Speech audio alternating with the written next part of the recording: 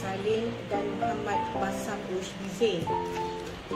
Kalau kita perhatikan untuk pengantar penerbit ini, buku Al-Quran ini, Al-Quran 7-in-1 ini